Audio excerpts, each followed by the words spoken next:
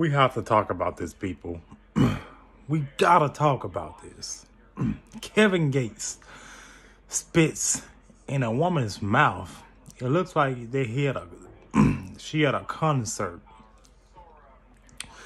Kevin Gates spits in a woman's mouth and she liked it. Now, you black women out there, do y'all like people spitting in y'all mouth? Because if y'all had a problem with R. Kelly peeing on somebody, then y'all really ought to have a problem with Kevin Gates spitting in y'all damn mouth. Do you guys understand how many diseases are in somebody's mouth?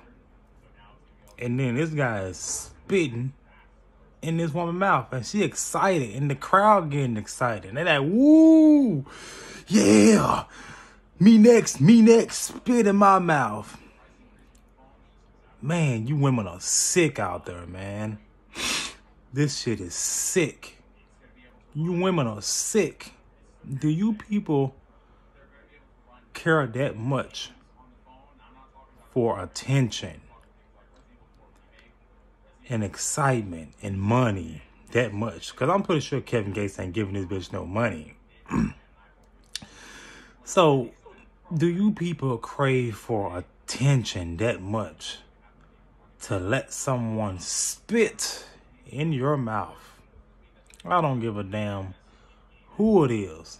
I don't give a damn if I go to a Taylor Swift concert and not let Taylor Swift spit in my mouth. Are you fucking crazy?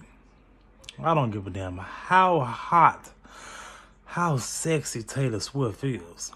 I'm not gonna let Taylor Swift spit in my mouth. That is nasty. Initially, that is degrading because really, if somebody spit on you or pee on you, spit in your mouth initially they telling you ain't shit. You dirt to them. You're nothing. You are nothing but dirt. You're nothing.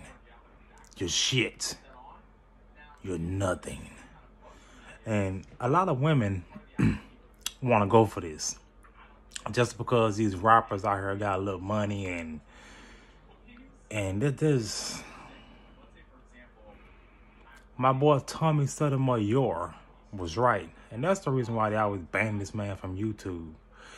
These black hoes out here, and the majority of these hoes out here, the only thing they want is DNA, dick and attention. Shout out to my boy Tommy Sotomayor because that's his kick line. I love those who love me.